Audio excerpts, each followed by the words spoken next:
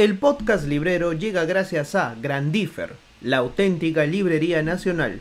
Visítalos en Ayacucho, Trujillo, Cusco y pide tus libros en cualquier parte del país de manera virtual. Busca Libre. Todos los libros que necesitabas a solo un clic de distancia. Librería 111.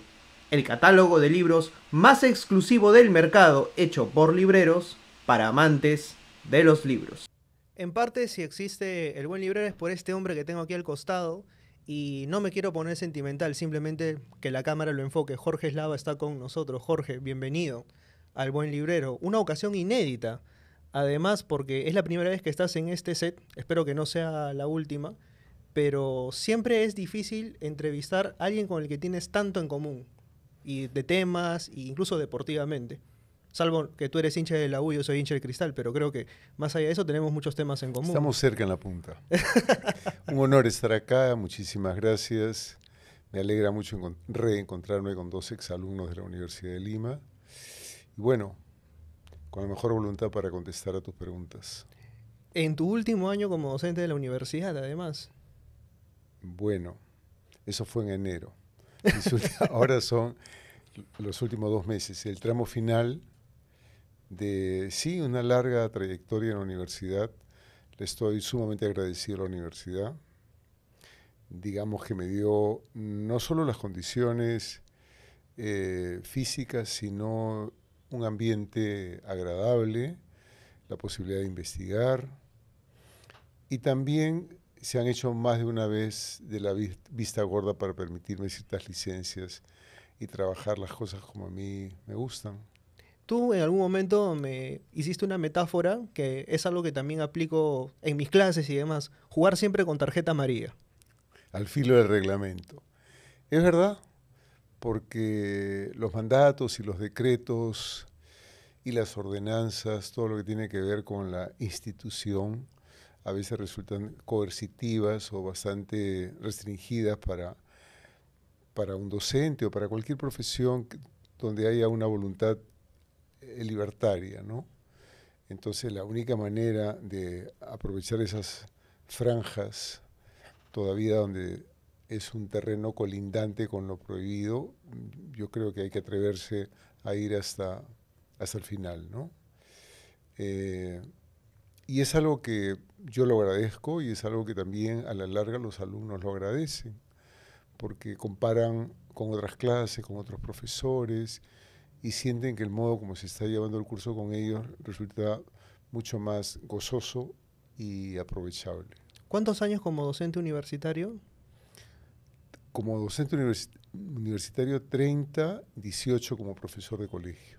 O sea, estamos hablando de casi 50 años enteramente dedicados me hubiese encantado, nosotros que somos amantes de los números redondos, me hubiera gustado redondear los 50 años de docencia, pero ya los haré fuera de la institución, fuera de la universidad, tal vez con talleres. Pero suena muy bien, ¿no? Las bodas de oro como, como profesor. Suena bien. Totalmente, ¿no? O sea, uno se pone a revisar tu carrera, poeta, narrador, editor, o sea, llegas también a la docencia. Y se me viene a la mente una frase de Stephen En realidad empiezo en la docencia, ¿no? En realidad, claro, empiezas en la docencia y de ahí, digamos, vas ramificándote. Tu primer intento de docencia es justamente en el garaje de tu casa, ¿no? Gracias a una, iniciativa que tuvo tu padre. Ese es un dato que muy pocas personas lo conocen, tan pocas que ni yo lo conocía. Eso me lo recordó mi hermana mayor, eh, alguna vez haciendo la contabilidad de los años que llevaba como profesor, me dijo, estás omitiendo un detalle. hubo unas vacaciones de verano que mi papá habilitó el garaje para que fuera un aula y frente a la casa había un pampón donde solían estacionarse carros y vivía una familia eh, muy, en condiciones muy precarias. Y mi padre nos dijo, este verano ustedes van a hacer sus vacaciones útiles enseñándoles a leer a esas criaturas que están al frente completamente desamparadas. Y lo tomamos con gran entusiasmo, mi hermana y yo tendríamos 14, 13 años, no creo que tuviéramos más. Y fue una experiencia linda. Yo no sé si alcanzamos a enseñarles a leer o no, pero sí los recibíamos en casa todos los días. Mi padre colocó una carpeta, una pizarra, y la pasamos muy bien. Yo recuerdo que cantábamos, eh, hacíamos dibujos, en fin, fue una primera experiencia. Y luego, ya en la universidad, estudiando, creo que todavía estudiaba sociales o probablemente ya estudiaba literatura, eh, una amiga me pasa la voz para enseñar en un colegio. Yo me quedé un poco aterrado porque era un colegio de curas, pero fue una experiencia preciosa porque significó eh, encontrarnos con curas que venían de vivir una dictadura con, con el dictador eh, español, con Francisco Franco, y venían con una idea completamente contestataria, libertaria, eran curas, eran curas con jeans, con polos, con grandes melenas, ¿no? Que eran los que se habían forjado entre mayo del 68 en París y las luchas continuas que terminaron sacando a Franco, ¿no? Entonces eh, eran curas revolucionarios, cosa que a mí me interesaba mucho porque yo había tenido una participación muy activa en la parroquia de La Punta, formando parte de, un grupo eh, pastoral. Yo llegué a ser representante para, para el Congreso de Medellín, ¿no? Como representante eh, como joven cristiano, preocupado por, por su comunidad, en fin. Entonces, esa primera experiencia en un colegio religioso yo creo que fue muy enriquecedora para mí. Estuve dos años en el Marista del Callao. Y a todo esto se me había quedado una frase que justamente dejé colgada en el anterior, y era que una vez le preguntaron a Stephen King, y a Stephen King, que era maestro de escritura creativa, lo pusieron en una encrucijada y le dijeron, ¿la docencia o la escritura? Y Stephen King responde, creo que magistralmente, para mí los mejores docentes son artistas. ¿Coincides con esa Totalmente. Empezando por las artes escénicas, ¿no? Un, buen docente es de alguna manera un buen actor, ¿no? Estamos frente no solo para ser mirados por los estudiantes, sino también para ser admirados por los estudiantes, de ser el caso.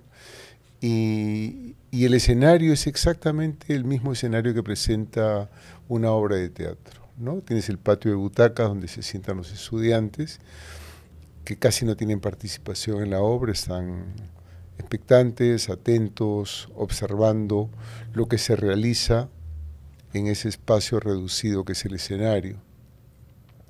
Y es un escenario vestido por una pizarra, ahora por por un retroproyector, por una computadora, entonces tienes que desempeñar tu mejor papel. Entonces, empezando por ahí, eres, eres un actor, eres un artista.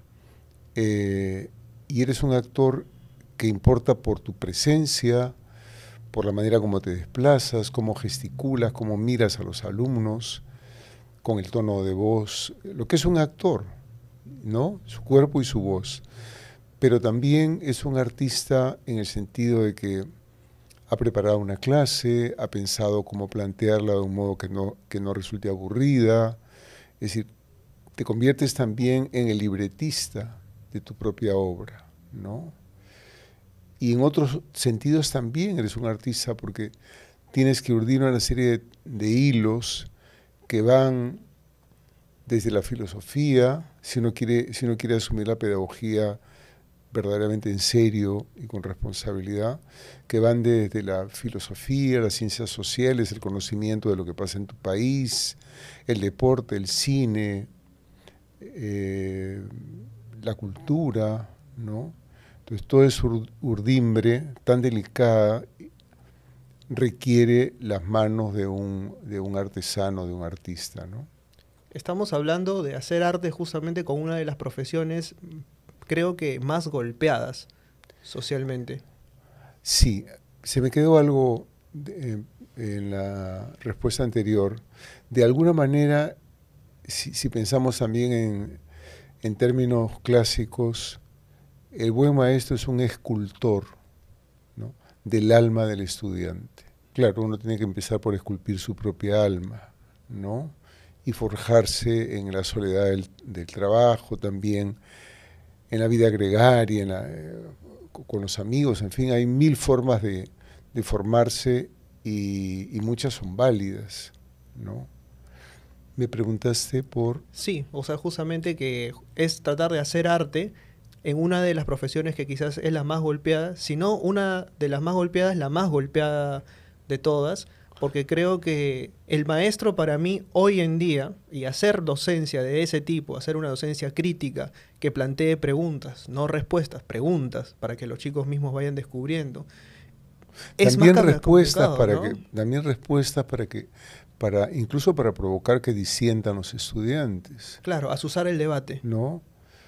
Bueno, esta frase que has usado tú con el epíteto de golpeada me recuerda eh, la primera dedicatoria que yo usé para un libro, el primer libro de poemas que publico, que es el año 80, va con esta dedicatoria. Eh, en este país a la golpeada estirpe de maestros, ¿no? Hoy tendría que, corregirlo y hacerle un añadido a la golpeada estirpe de maestros y maestras. Lo cierto es que sí, de esos años 80 a hoy, el castigo ha sido mayor, ¿no? Eh, todo se ha ido volviendo mucho más empresarial, mucho más crematístico, el dinero está imponiendo un imperio enorme en todas las áreas. Hoy hay bancos que fundan colegios, hay instituciones que están mucho más ligadas al, trabajo rentable y que invierten en instituciones, colegios, ¿no? Y creo que todo esto proviene de principios de los 90, con el desastroso gobierno que hemos tenido en esos años, que concebía todo como una posibilidad de ganancia económica. Los grandes maestros, incluso el término maestro, se ha ido desluciendo bastante. Hoy hablamos más de profesores y profesoras, ¿no? Ese ánimo de un profesor o una profesora a aspirar a esa dimensión de maestro, maestra, ¿no? Donde encuentras finalmente que has conquistado un respeto, más, que haber impuesto un respeto, haber conquistado un respeto, haber conquistado el afecto de los estudiantes, haber logrado que los estudiantes encuentren sentido a lo que estás enseñando. ¿no? Creo que todo ese conglomerado es importante para lo que decía San Agustín con respecto al aprendizaje, la docilidad del estudiante, no en términos de sumisión, no en términos de subordinación, sino en términos de disponibilidad para aprender, ¿no? el reconocimiento de, que la enseñanza es un sínodo, un espacio de intercambio de ideas, ¿no? de emociones,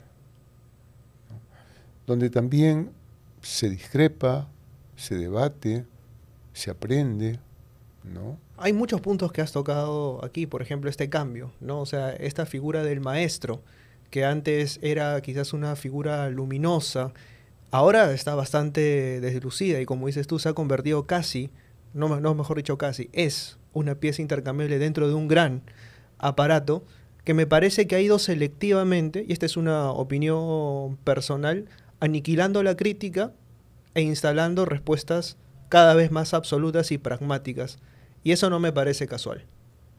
Bueno, ya la figura del gran maestro de la escuela o de la universidad o la figura del, del director de un colegio ha sido reemplazada por una figura que tiene mucho mayor peso hoy, que es el gerente educativo. Basta ver Basta ver las ofertas que hay en los diplomados o maestrías, ¿no? ¿Cuál es la especialidad con la que egresas, ¿no? Eh, el hecho de que hoy puede fundar un colegio sin necesidad de ser un, educador, ¿no? Antes, yo recuerdo como estudiante al director del colegio, un colegio pequeño donde estudié la secundaria, que era un hombre francamente consagrado a la docencia toda su vida, ¿no? No me gusta mucho el término porque, porque se puede pensar que uno termina chamuscado, pero había una inmolación de parte de algunas personas que adoraban, adoraban la educación, ¿no? Eh, ya eso no es, ¿no? Ahora todo se resuelve haciendo cuentas, el más importante es el gerente, el gerente educativo, se postula como fórmulas de éxito, bueno, conseguir líderes o profesionales de éxito, ¿no? como si la obligación de un colegio fuera esa. Ahora, todos estos cambios que se han producido, cuando uno quiere hacer un cambio, necesita intérpretes, ¿no? Que hagan esto también posible. Siento, y por aquí de repente coincidimos, que uno de esos intérpretes grandes era Constantino. Sin duda.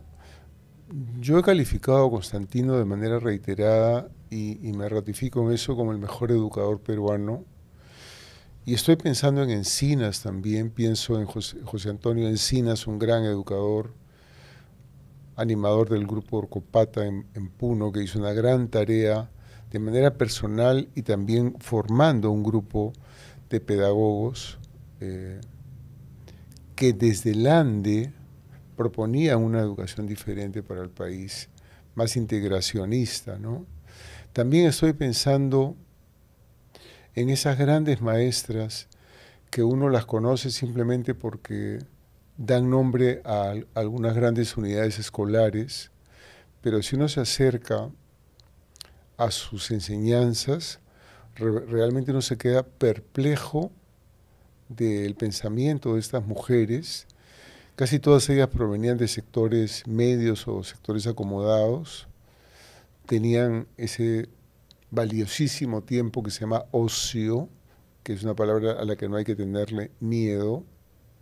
Hay que tenerle miedo a qué hacemos con el ocio, ¿no?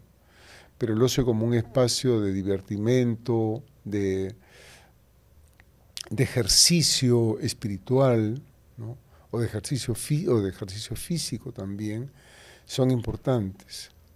Esas grandes intelectuales y maestras Teresa González de Fanning, Elvira García García, Mercedes eh, de Carbonera, ¿no?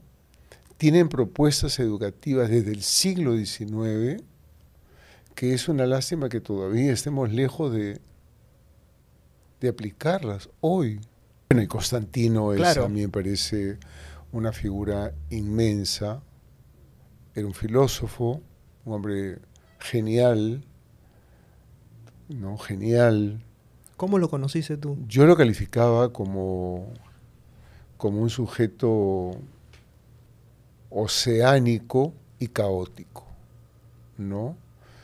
Un conocimiento oceánico profundo y caótico, porque a veces se piensa que es oceánico en términos de extensión, pero no de profundidad. Yo creo que con Constantino era muy difícil tener un debate porque no era una persona que hablara mucho, proponía temas, yo recuerdo, recuerdo con mucha nitidez esas larguísimas reuniones que teníamos en el colegio, me refiero a los Reyes Rojos, donde trabajé 10 años, y Constantino proponía temas o, o, habían temas que se imponían durante la semana, y él dejaba que, que todo el mundo se expresara, hablara, diera su opinión, y de pronto cuando él pedía la palabra se generaba una expectativa enorme y terminaba, era como quien maliciosamente, después de haber visto construir con enorme esfuerzo un gran castillo de naipes, te saca un naipe de abajo y te,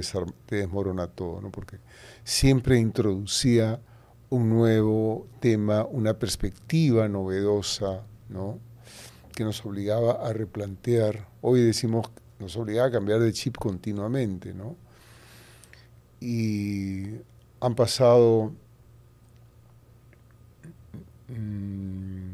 60, 70, 15 años de su muerte, 15, 16 años de su muerte, y es sorprendente cómo tema que sale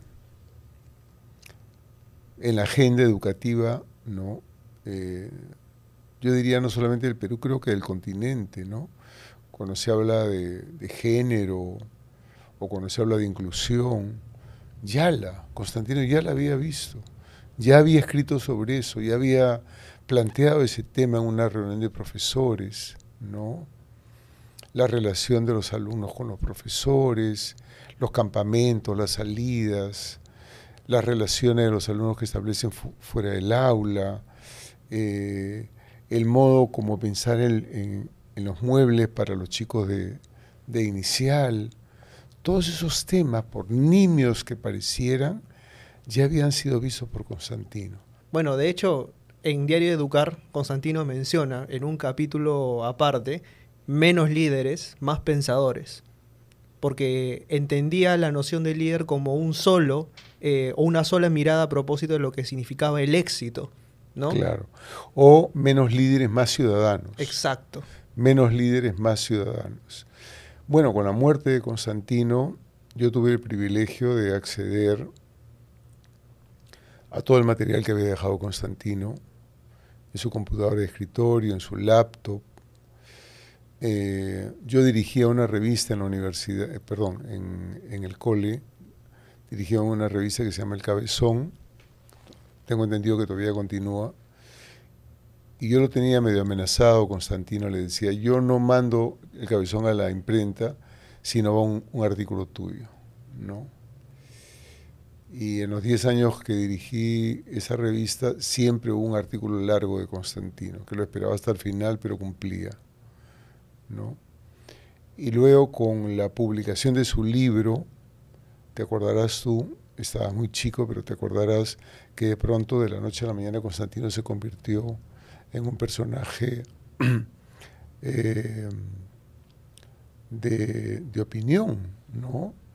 Eh, un líder de opinión se le llama contra su voluntad, ¿no? Entonces lo invitaban en todos sitios, y como también tenía un vínculo muy cercano, no solamente con la educación y el colegio, sino con la educación y su generosidad que había abierto la puerta del colegio a una institución pelotera como Alianza Lima, había acogido chicos, había creado, había creado una casa albergue para los chicos en condiciones muy casi de indigencia, había fundado un colegio en Héroe del Pacífico en Chorrillos. O sea, de pronto Constantino se convirtió en lo que debió haber sido desde hacía mucho tiempo en una persona muy importante en la educación peruana. Y cuando estaba gozando de ese muy merecido reconocimiento, se nos va. Pero digamos que el legado que deja y el legado que me deja a través de sus lecturas, de los artículos, él era bastante crítico con un sistema que hasta ahora se sigue aplicando, que es el de las alternativas múltiples y el de convertir en una recompensa inmediata la respuesta del estudiante y convirtiéndolo en un ser básicamente binario, ¿no? Entender que el mundo se ve a través de una respuesta correcta o incorrecta, ¿no? Para él era un cuello de botella la evaluación, ¿no? Eh, en gran medida la evaluación dice lo que, no solo lo que enseñas, sino del modo como enseñas, qué estás buscando en lo que enseñas, ¿no? Entonces, si tú revisas una prueba y ves la formulación de las preguntas, puedes deducir cómo enseña ese profesor y qué intereses tiene, ¿no? Qué cosa debe quedar de, de una lección. Y él ponía mucha atención en, la evaluación. Por ejemplo, se aplicaba la evaluación desde inicial y era muy interesante porque las, libretas no tenían una numeración vigesimal, ni siquiera en quinto de media había una numeración vigesimal, pero había otro sistema, ¿no? Bien, muy bien y siempre con, con recomendaciones, observaciones del tutor, pero en inicial era sumamente interesante porque eh, había una evaluación del propio estudiante, de la propia criatura, tenía círculos y tenía que pintar los círculos de acuerdo al calificativo que tenía, ¿no? Soy muy travieso, un color, ¿no? Este, eh, atiendo a mi profesor a otro color, ¿no? Entonces había una, una evaluación del propio estudiante y había una evaluación del salón, ¿no? Por encima incluso del criterio del profesor o de la profesora. Entonces era una manera de ir construyendo una autonomía de parte de, los estudiantes, ¿no? que cada uno supiera autogobernarse. Tanto que es la gran aspiración de la vida, ¿no? O sea, no necesitas no necesitas tener un guardia un policía, ¿no? 24/7, ¿no? Un policía eh, cuidando de que no te que no cruces el semáforo rojo basta que esté el semáforo para que sepas a qué tienes que tenerte, ¿no? Pero bueno, el desmadre que tenemos en el Perú hoy demuestra que, no hay ningún tipo de autogobierno, ni, de, ni, de, autocrítica. Y es a lo que se aspira contradictoriamente, ¿no? Porque justamente es visto al profesor como casi este policía del aula, al mismo tiempo se exige autonomía y al mismo tiempo se exige juicio crítico. O sea, son tres cosas completamente diferentes que se contradicen entre sí y que al mismo tiempo llevan pues a resultados como los que tenemos, ¿no? No quiero ser despectivo, pero a veces no, a veces no es un policía, sino hasta un guachimán, el profesor, ¿no? Con una serie de encargos que a mí me parece que, que no son, que no ocupan un lugar de, tan, tan importante como, como es la enseñanza, ¿no? Eh, un profesor debe tener márgenes que le permita trabajar con criterios propios también. Algo en lo que tú insistías, y de hecho me parece que lo hemos conversado más de una vez, es uno exige o le exige demasiado al profesor sin tener en cuenta el marco en el cual está inmerso él, supongamos. Eh, un profesor para cultivarse necesita eh, tener acceso a libros que están fuera de la cesta básica, necesita poder ir al teatro, necesita poder ir al cine, necesita tiempo para ocio, y al profesor lo acribían a trabajo administrativo, a trabajo facultativo. Hay una especie de estrechez en la cual muchos padres de familia le piden al profesor un resultado casi de fabricación, en el cual él tiene que hacer de su hijo tal o cual cuestión, y digamos que hay un choque tremendo, en el cual, como tú dices, el profesor se convierte en una pieza intercambiable, en el cual el sistema lo orilla a que sea básicamente fusible y que no sea eh, un elemento que genere eh, cambios significativos. Y no lo genera porque tampoco está dentro de sus posibilidades poder hacerlo, ¿no? Entonces es, digamos, toda una conglomeración de hechos que terminan determinando esto, ¿no? Claro, todos esos laberintos que has señalado tú conducen al cuarto del, tormento, ¿no? Como existía antiguamente en las mazmorras, ¿no?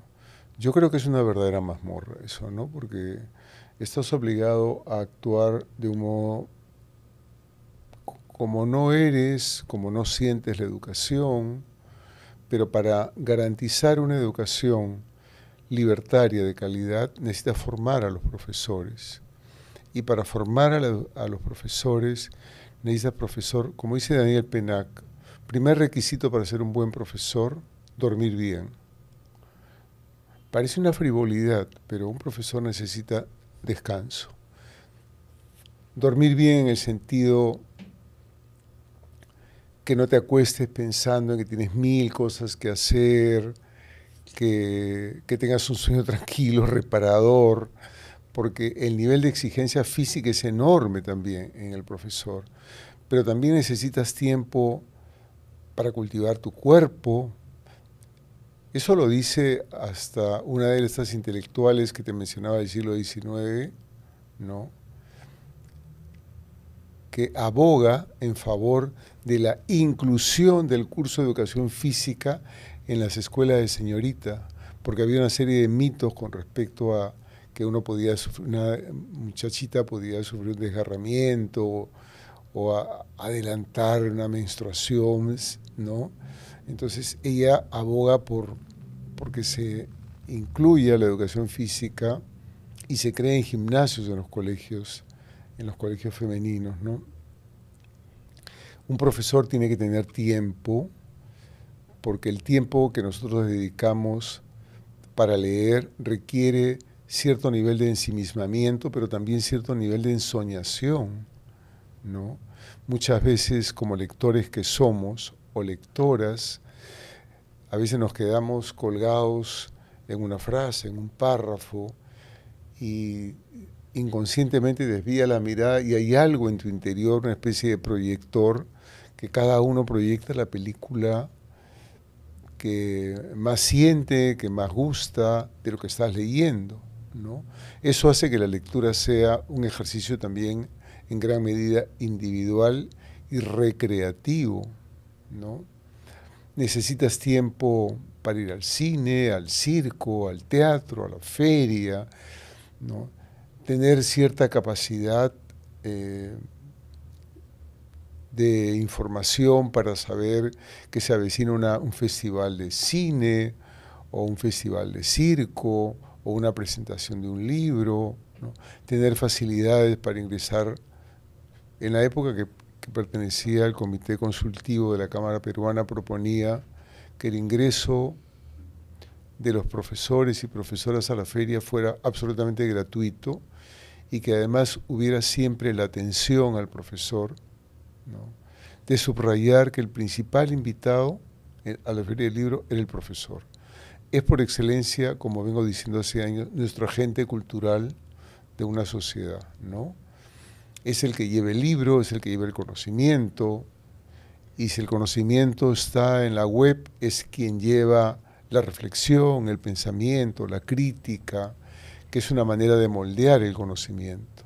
Entonces la tarea del profesor es múltiple, pero va por el lado intelectual. El profesor es un intelectual, es un trabajador intelectual, pero además es un atleta porque tiene que estar en óptimas condiciones. Una maestra de inicial es super pilas. El físico que tienen que tener. Un físico y una resistencia, ¿no? Y además tiene que ser medio estoico, porque después de tanto golpe que recibe, tiene que tener la resistencia al día siguiente de ir con su mejor cara, ¿no? Y no arrastrando los pies, que lo que ofrece es una imagen de desaliento a niños o jóvenes que se están formando. Ese maestro, y volviendo a una pregunta inicial, de la medida de, qué manera hay algo también de histriónico en el papel del profesor, esa imagen que ve un, niño o un adolescente de su profesor es una especie de transferencia que está haciendo de la imagen que va a formarse como adulto. De algún modo un profesor se está postulando como un modelo para un niño, una niña, un adolescente, en fin. Y en tiempos en los cuales hablamos de lectura y de sugerencias, el principal actor en ese sentido es el profesor. El profesor debería ser el primer lector.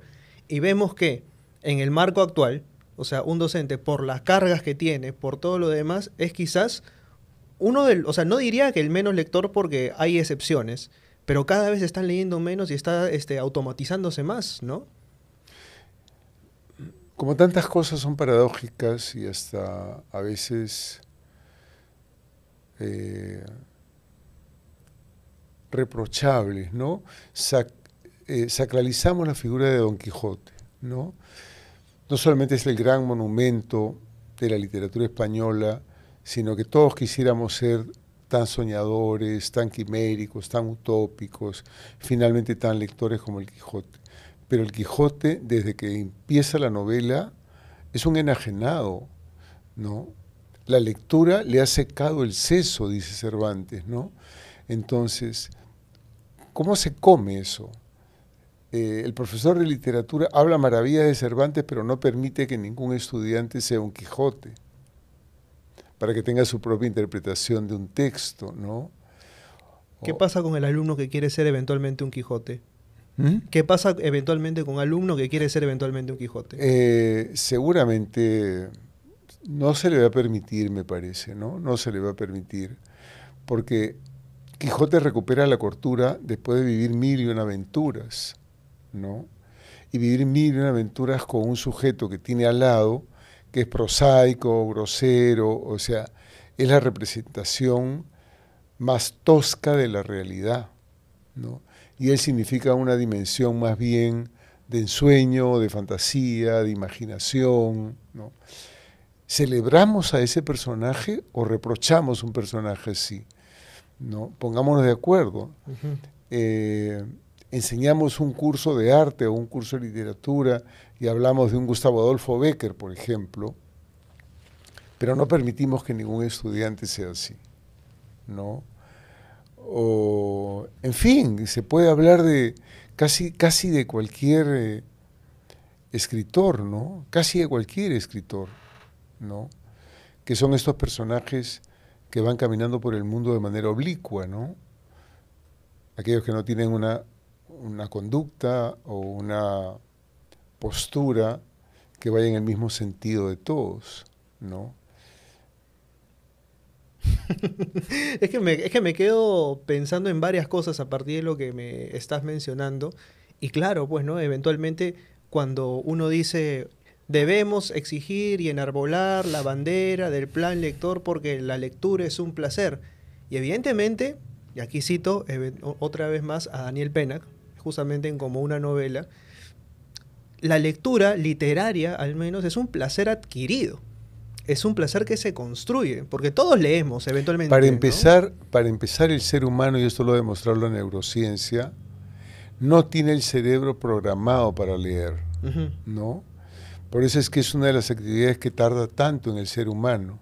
Cinco o seis años necesitamos estar en el mundo para recién aprender a leer. Claro. En cambio, el habla sí.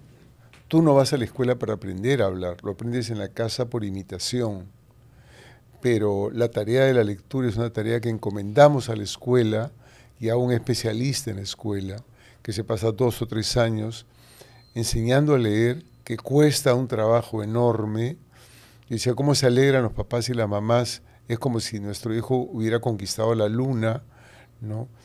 Pero el entusiasmo se termina ahí porque queremos que aprendió a leer, estupendo, pero ¿qué hacemos después para que siga leyendo? Casi nada y más bien la lectura de ficción o de cualquier otro tipo es vista como hasta con sospecha, ¿no?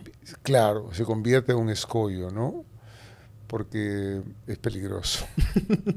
Pero claro, ahí, ahí vemos otra vez, ¿no? Cómo es que la lectura se transforma en un fin utilitario y no en un fin este, cognitivo que te puede llevar a, a bastantes cuestiones, ¿no? Se ha hecho una encuesta enorme eh, que ha tomado varios años, dos, tres años, si no es un poquito más, que la primera encuesta que se va a publicar, me imagino, muy pronto a nivel nacional.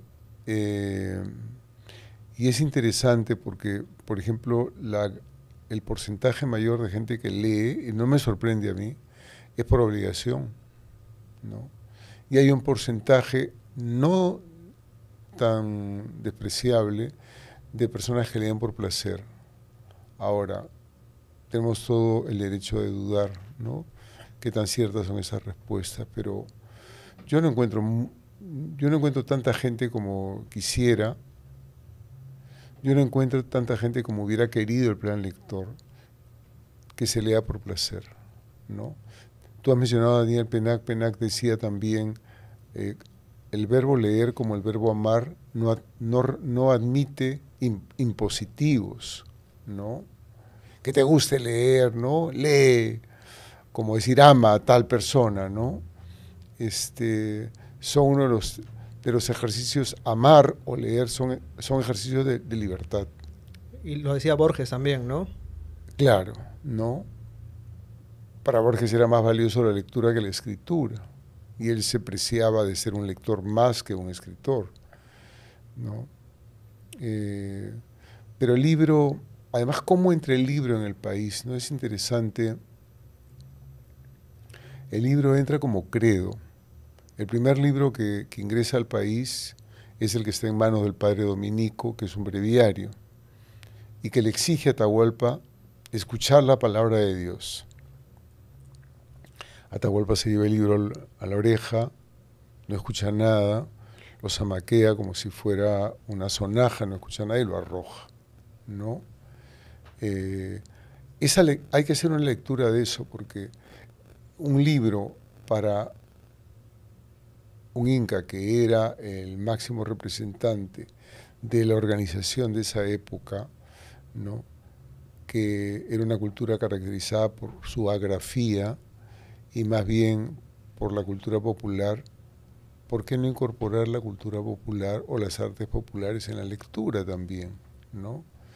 Cuando se instala la primera imprenta en el Perú, no, no solo en el Perú, sino en todo el continente. La primera imprenta que se establece en el Perú, el primer libro que se publica es una Biblia. ¿no? Entonces la, es, la letra que entra con sangre, ¿no? con un propósito estrictamente evangelizador. Has mencionado este, justamente este divorcio que existe entre incluir elementos populares en la lectura versus lo que la academia propone. ¿tú, ¿Tú sientes que la academia ha mirado o ha subestimado mucho el potencial de los lectores a interpretar determinadas cosas? Yo creo que ahí ha perdido el paso, eh, en general toda la educación han perdido el paso porque ciertas teorías eh, del conocimiento y también ciertas teorías propias de la literatura han ensanchado el concepto de texto, ¿no? Y por, y por extensión también de narrativa o de lectura, ¿no?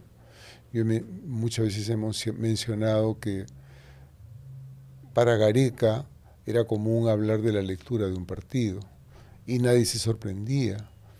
Y todos entendíamos mi interpretación de este partido es tal, la lectura como, como un logro personal de, un fenómeno de comunicación, que es el fútbol. Hay formas de leer el fútbol. Pasa con leer un libro de Guardiola, o basta incluso una experiencia anterior. Pier Paolo Pasolini escribió un libro sobre fútbol y él veía el fútbol, un partido de fútbol, los toques, como quien iba armando un párrafo. Es muy interesante la lectura que hace Pasolini, una lectura semiótica. Si estás disfrutando de esta entrevista y estás anotando todos los títulos que sugerimos, puedes buscarlos en buscalibre.com. La librería más grande del mundo ahora está al alcance de un clic. buscalibre.com. ¿No? Si para la semiótica todo lo que nos rodea es texto, ¿no?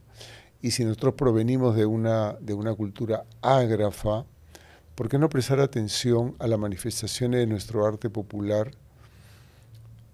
cuyo, cuyos soportes, que podían ser una calabaza, en el caso de un mate burilao, o una tabla de sargua, un trozo de madera con una bellísima pintura, o un telar pintado, o una pieza de cerámica, un tallado de madera, un cajón un cajón de San Marcos que luego se convierte en un retablo. Uno intenta por leer esos objetos y vas a encontrar fiestas, historias comunales, ritos, están, hay una narrativa ahí, ¿no? Si hay una narrativa, si hay un signo comunicativo que llega a muchos usuarios o muchos, entre comillas, lectores, ¿por qué no, em-, no empezar por prestar atención a esos objetos? ¿No? Y también empezar a entrenar nuestros otros sentidos, porque no solo leemos con la vista, ¿no?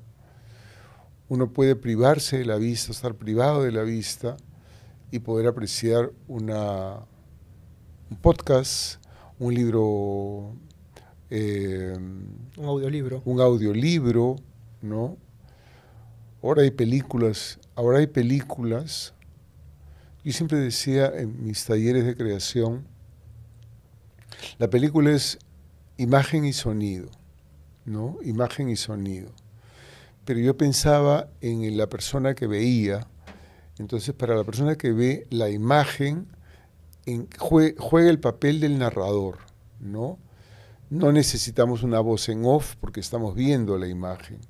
Pero no me había puesto en el, en el caso que esto lo estoy pensando en los últimos años, ¿qué pasa con un invidente? Mm. ¿No?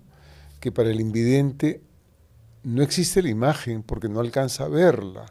Existe el sonido porque escucha el diálogo o los efectos de sonido o la banda sonora, que son los tres canales que constituyen el sonido de la música. Entonces ahora se incorpora una voz que va describiendo y narrando el entorno. Ahí está la voz narrativa. ¿No?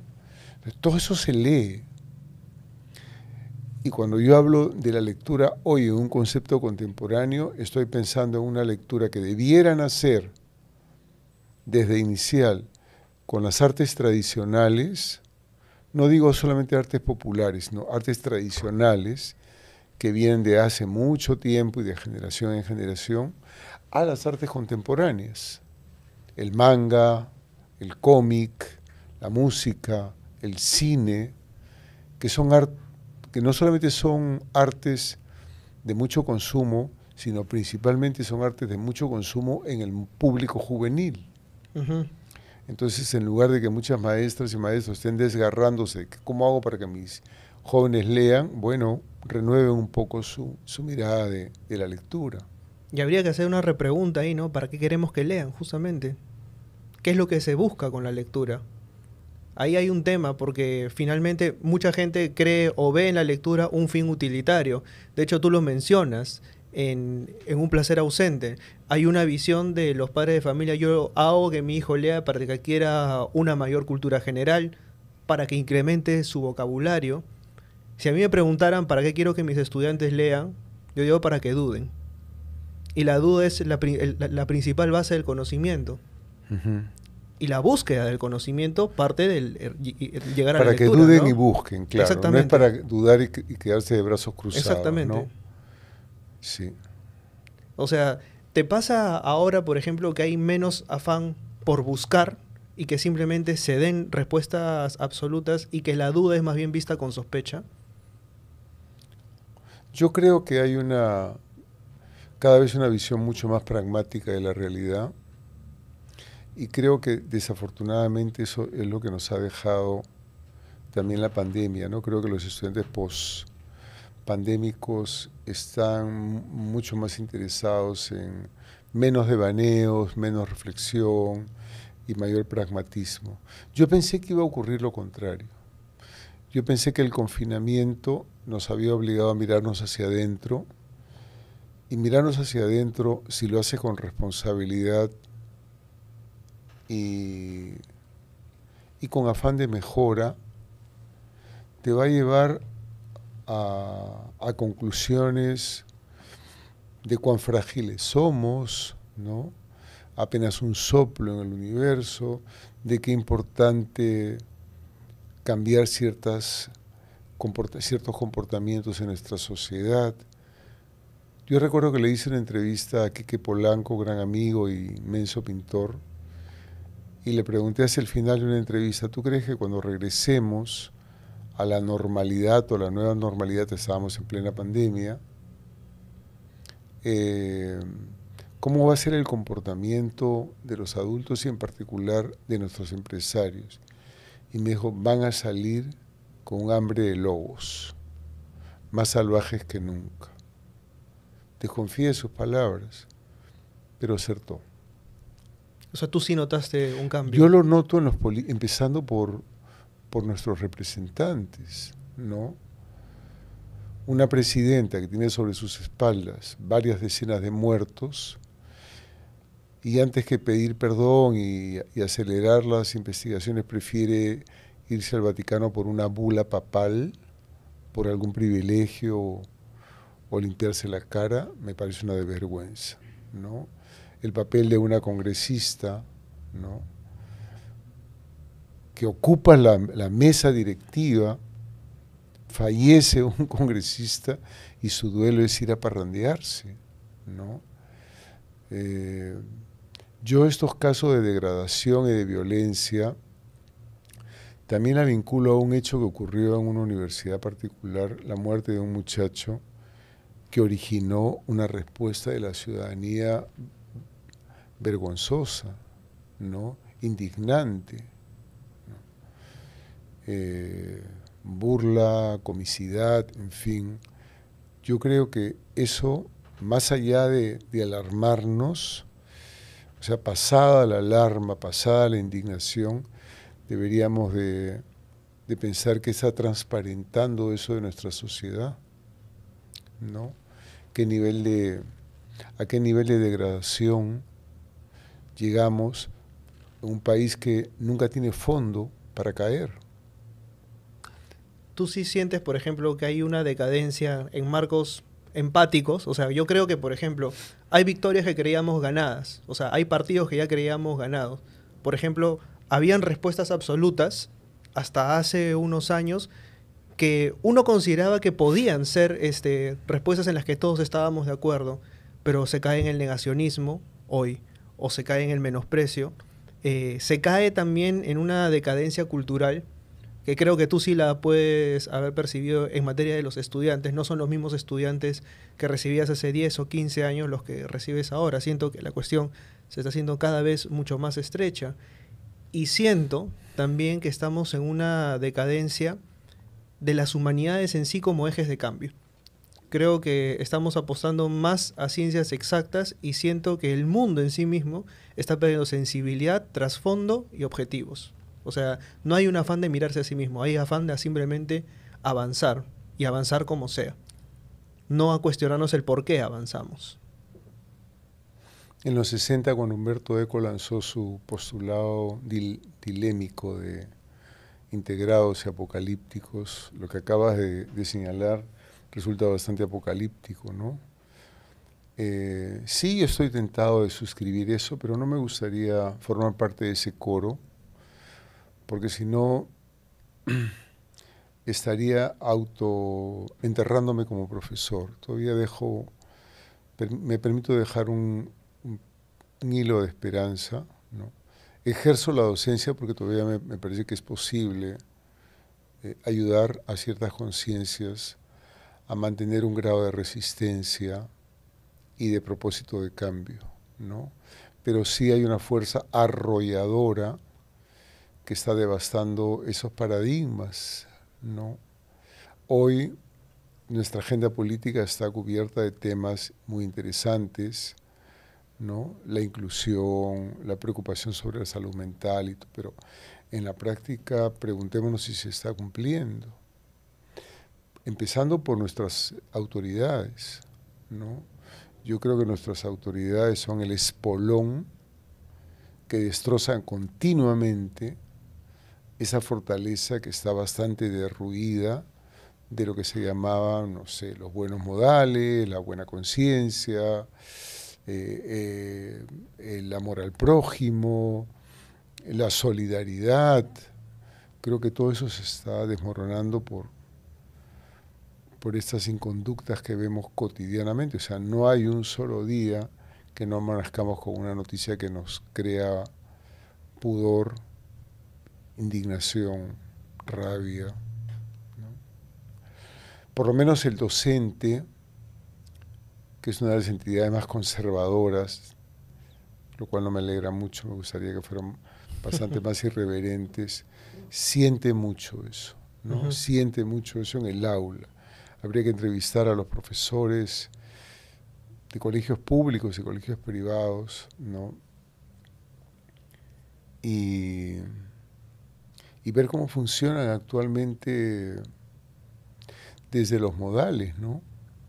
Tú recordarás que una de las primeras cosas que yo digo en clase, a riesgo de ser calificado un cromañón, una de las primeras cosas que yo advierto en clase es, acá nos vamos a tratar bien, acá va a haber respeto, por favor, nada de gritos de profe de allá, ni lisuras en el aula, no. Eso resérvenlo para la tribuna sur, tribuna norte, pero acá estamos en un espacio donde vamos a aprender a ser mejores personas, ¿no?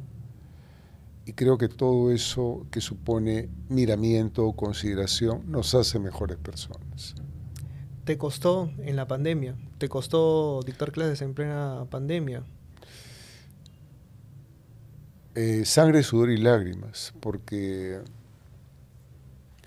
yo no uso celular, nunca he participado en redes, de modo que mi ignorancia en, términos tecnológicos era ejemplar.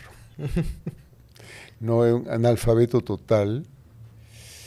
Y cuando, cuando se produjo la pandemia y estuvimos todos confinados y la universidad empezó a, invitarnos eh, una y otra vez a los talleres, para mí eran como mandarme al, patíbulo. ¿no? Cada, cada taller lo padecí enormemente Eh, pero lo gracioso es que terminé convirtiéndome en un profesor que tuvo una altísima nota, mis clases fueron un éxito. Pero te acostumbraste, o sea, Me final- acostumbré a la virtualidad, no totalmente, pero también allí aprendí a divertirme. ¿no? Me disfrazaba, por ejemplo. ¿De qué fue lo No. más random que te disfrazaste? Ponía, ten- tengo una cabeza, un- tengo un coco tallado con la cabeza de un pirata, entonces ponía el coco así y lo manipulaba con la mano y, y el coco daba la clase. ¿no? Era un coco parlante, literalmente. Eh, o a, a- veces alejaba la, la cámara y hacía una clase de pie, ¿no? Buscaba divertirme en las clases, pero sobre la base, sobre la base de un respeto de todos, ¿no? Empezando por la cámara. ¿no? Eh, mi rollo era siempre, bueno, estamos obligados a abrir una brecha enorme, no nos conocemos, somos un, eh, una entidad eh, oscura y muchas veces silenciosa, humanicemos esta clase, encendamos las cámaras, ¿no? Y poco a poco, como decía yo, digamos, yo conseguía que el 80% de los estudiantes encendiera su cámara y que el 40-50% interviniera, ¿no? Yo siempre pre- pido preguntas al final y digo, sí, bueno, si ustedes no preguntan, yo pregunto y, pre- y pregunto. Si no le digo a un estudiante o un estudiante, sí, ha- hazme una pregunta, no se me ocurre nada, profesor. Inventa una. ¿No? Es importante eso, ¿no? O sea, sí, yo los trato como si fuera, ah, no sé, un tío, ¿no? El tío eslava. ahora, es complicado, ¿no? Como, como digo, o sea, mantener el buen ánimo, mantener Sí. el ambiente, Pero incentivar la, participación. Sí, O sea, fue muy difícil. Es, o sea, son muchos factores los que se complementan aquí, porque quizás... Me hay- encuentro con alumnos ahora que me, yo eso fui te reconocen. Me reconocen. Y además tienen un lindo recuerdo de, la- de las clases, ¿no? Y yo hasta ahora no sé cómo lo logré. ¿no? Ni siquiera puedo hablar de un milagro porque no soy tan creyente, pero no sé cómo lo logré. Yo creo que hay una base para ese logro y creo que es que nunca dejas de divertirte en clase. O sea, yo sí No. siento que una vez que uno trasciende ese marco en el cual divides la calle de- del aula, uno entra en personaje. Claro. Y Soy es- un actor que rompe la cuarta pared, digamos. Exacto. ¿no? Y una vez que la rompes, eh, entras en personaje y estás ahí. Ese es tu mundo. O sea, ya el Sí. mundo real está ahí afuera. Por eso estoy aterrado ahora con la jubilación, porque mi espacio de socialización ha sido durante casi toda mi vida, primero el colegio, en el vínculo con los estudiantes, con chicos y adolescentes, y luego 30 años en la universidad en mi vínculo con jóvenes. Y yo siento que este ánimo de curiosidad y de juego no son personales son adquiridos gracias, gracias, gracias, gracias a mis estudiantes, ¿no? Que me mantienen, mantienen un lenguaje vivo, una curiosidad viva, este, trato de estar más o menos al día con las cosas que les interesan, ¿no? O sea, tratando de, de subir al vagón que me corresponde para no perder el tren. Ahora, estamos hablando de que es tu último año en esta universidad, pero vas a seguir ejerciendo la docencia. Ejerciendo la docencia sí, pero no en ninguna universidad. Salvo que, que retome un, que me gustaría mucho, ¿no? un curso en la sede Sapiente donde he dictado una maestría de literatura infantil y juvenil durante años. Probablemente me vuelvan a coger ahí. Pero con lo, mi- lo mismo que me pasó con el colegio y la universidad. ¿no? Una vez que ya estuve en la universidad, volver al colegio me hubiera resultado eh, muy difícil. No es como el jugador que está en primera y- y va a segunda, no, es algo diferente, ¿no? Eh, más bien pienso en hacer talleres Ojalá que esta larga entrevista sirva para persuadir antes que disuadir. Quiero dictar talleres de creación. Sí. Quiero dictar talleres de lectura. Quiero sobre todo, sobre todo contribuir a, una mejor preparación del magisterio. ¿no? Si tuviera la oportunidad de irme, lo iba a hacer. Ya había conseguido un buen contacto. Dije, mi primera acción como jubilado, en enero y febrero me iba a ir un mes y medio a una comunidad andina y tengo muchas ganas de tener una experiencia como profesor rural. Tuve alguna vez una experiencia en un programa de educación rural, pero haciendo libros para niños y jóvenes, pero quiero enseñar, ¿no? Em, me gustaría también pasar una temporadita, tal vez un semestre en una universidad pública del interior, de provincias, y tener un taller, ¿no? Muy pocas horas, porque otra cosa que empieza a aterrar a una persona que se asoma al abismo de la jubilación es que si estás lleno de, de proyectos, la inmensa pregunta es, ¿me alcanzará el tiempo para cumplir con esos proyectos?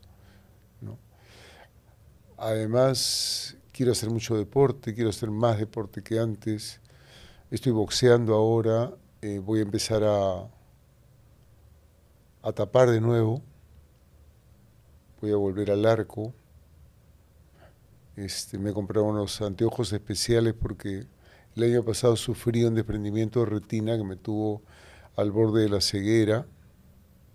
Ya estoy completamente restablecido de eso, así que voy a empezar a tapar y para asegurar, para asegurar cierta garantía he contratado un preparador de arqueros.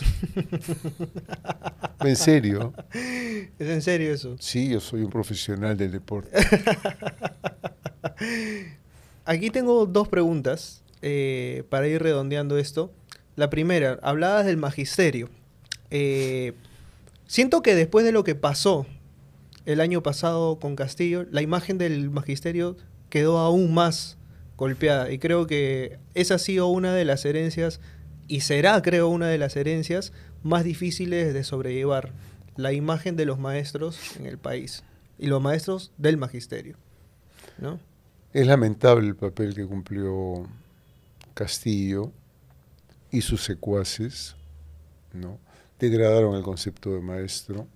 Pero cuando uno eh, indaga un poquito eh, es como para no sentirse tan magullado, porque tenía muchos años Pedro Castillo que no trabajaba en aula, que se había dedicado a la vida sindical. Eh, ya uno tiene todo el derecho de sospechar, probablemente con, con propósitos non santos, ¿no? Eh, pero un profesor y no hablo solamente en términos de lenguaje, sino en términos de, sintaxis de pensamiento, una persona incapaz de articular ciertos pensamientos coherentes. ¿no? Castillo, Pedro Castillo ha sido una verdadera vergüenza para el magisterio y quienes tenemos que limpiar esa imagen somos nosotros. No solo Castillo, sino todos los que ocuparon también sucesivamente el Ministerio, el Ministerio de Educación. A mí me hubiera gustado debatir más de una vez en una entrevista. Dije, bueno, me gustaría debatir con el Ministerio de Educación sobre el plan lector, que es un tema que yo conozco.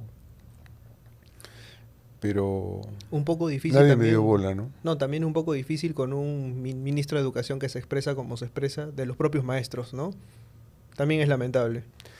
Bueno, Hemos hablado de la, de la manera como el sistema ha golpeado a la estirpe de maestros, pero también no solamente el sistema educativo, también el periodismo ¿no? ha hecho escarnio cuando habían esas pruebas de, de conocimientos a los que se les sometía a los profesores.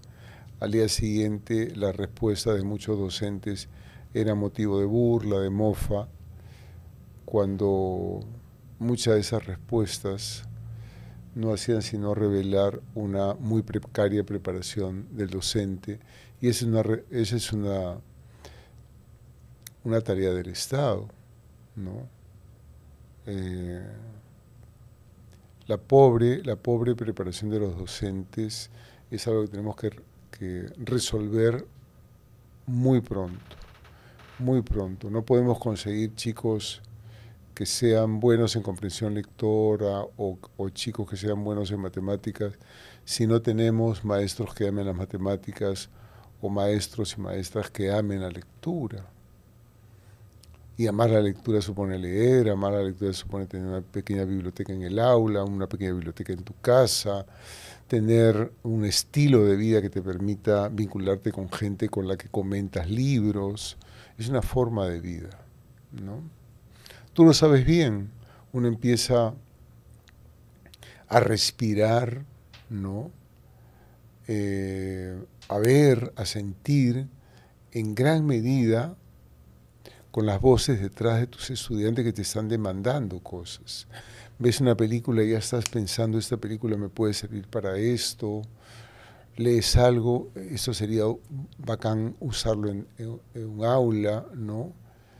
Eh, eres el canal, eres el canal indispensable por, por donde va esta canoa de, del saber, de la experiencia, de las interrogantes, de las dudas. ¿no? ¿Uno deja la docencia o la docencia lo deja a uno? O la docencia lo va dejando a uno también, ¿no? Hablemos en gerundio, porque yo una vez declaré que la expectativa de vida de un profesor en términos de, pasión y de brío era de 15 años, entre 10 y 15 años. Y hubo un montón de, gente que no le gustó esa respuesta. Y yo es lo que compruebo, los maestros cuando empiezan a bordear los 40 años, ya este sueño por ejercer tu profesión, para cambiar primero el mundo y luego por lo menos algunas conciencias empieza a desvanecerse porque la realidad eh, es tan dura con uno, ¿no? es tan adversa con uno, que al final lo que quieres es aferrarte a un puesto, ¿no? o para decir en términos bastante fuertes, aburguesarte como profesor, ya sin ánimo de ser innovador, sin ánimo de, ser un profesor desafiante, ya no, simplemente mantenerte en un puesto. Y eso el sistema lo consigue con cierta prontitud. ¿no? Eh, tener 30 o 40 años como profesor y, y, ser todavía una persona que tiene un pie en la realidad y el otro pie en la utopía, yo creo que te convierte en un, héroe cívico, ¿no? Eh, o sea, estar todavía luchando en favor de un cambio te convierte en un prócer, ¿no? Eh, y yo lucho porque haya esas profesoras, esos profesores, que a pesar de la adversidad, ¿no? siguen el entarimado recibiendo, pero también sabiendo cómo encajar sus golpes, ¿no? ¿Qué hace que justamente un profesor mantenga todavía intactas esas ilusiones luego de tanto tiempo de carrera, como en tu caso? Yo he tenido suerte. Mi caso no es un caso común. Yo he tenido suerte porque a donde he ido, si no he tenido la patente de corso para hacer lo que me venía en gana, lo he sabido disimular ¿no? Eh, he ido por las márgenes, he jugado al, filo del reglamento, he tenido a veces el árbitro a mi favor o el público a mi favor, ¿no? Eh, pasé por algunos colegios, sobre todo los Reyes Rojos, donde estuve 10 años, y eh, por encima de los Reyes Rojos, los Reyes Rojos como una entidad formativa, pero en términos de tiempo, de trayectoria, de, logros. Yo creo que la, gran suerte de haber entrado a, la Universidad de Lima, que me ofreció las condiciones más favorables para desarrollarme como, como yo quería, tanto en la docencia como en la investigación, y me dejaba tiempo para la creación. ¿no? He tenido suerte. No soy un caso, creo, atípico del, del docente pero también esa suerte se persigue, ¿no? Eh, yo creo que la mejor manera de, resistir como, como insurgente es agruparse, ¿no? Formar talleres, formar grupos de profesores, organizaciones, colectivos, que trabajen leyendo, que trabajen viendo cine, eh, que trabajen investigando, ¿no? Por eso es que generalmente cuando me propongo dictar un taller, mis primeros invitados son los maestros. Y por cierto, si me permites un cherry, voy a dictar un taller para profesores, auspiciado por, por el Ministerio de Cultura en su programa de, de los estímulos. Voy a dictar un curso, que es un curso que resume en gran medida lo que estoy diciendo ahora en las áreas de lectura y escritura. Un curso que dura, no recuerdo ahora si tres o cuatro meses, que casi, casi pretende tener un, carácter de, curso de posgrado, Y está dirigido principalmente a, maestras y maestros, o, me parece que exclusivamente a ellos y a ellas, ¿no? Ahí me vas a dejar el correo para que se puedan contactar contigo para saber dónde lo pueden llevar, ¿no? ¿Enseguida o te lo dejo? Sí, déjamelo aquí. Está apareciendo aquí el correo en sus pantallas en estos momentos. Eh, yo voy a hablar como alumno y voy a hablar como profesor también. Eh, el haber llevado un curso con Jorge a mí me cambió la vida. O sea, creo que no, no sería ahora no solo el buen librero, sino el profesor Gianfranco Ereña, ni todo lo que hago en mi vida, si no fuese por él, porque creo que si algo entendí era que había que hacer las cosas diferentes, y para hacer las cosas diferentes había que arriesgarse. Y el riesgo es parte de la vida, lo que no es parte de la vida es el tiempo, y el tiempo es lo que se está desvaneciendo en estos momentos. Jorge, te agradezco enormemente por esta entrevista, esta conversación. Siempre lo he dicho, o sea, es bien difícil entrevistar a alguien con el que compartes tantas cosas, pero lo que compartimos en común es que queremos todavía hacer una docencia que implique la crítica, que implique a la lectura como la gran protagonista y que sea el maestro el, finalmente el gran eje de cambio. ¿No? Yo te agradezco infinitamente, ha sido una muy grata conversación. Lo más lindo de la entrevista ha sido tus palabras finales. Te agradezco. o sea, todo lo que, está en el medio es absolutamente prescindible. Sí, pueden, poner, pueden acelerar todo, todo lo anterior. Muchísimas gracias, Jorge. Al contrario, muchas gracias. A ti, a los televidentes, oyentes, en fin, toda tu, la comunidad que te sigue. Y conmigo será a la misma hora por el mismo canal el próximo viernes. Chau, chau.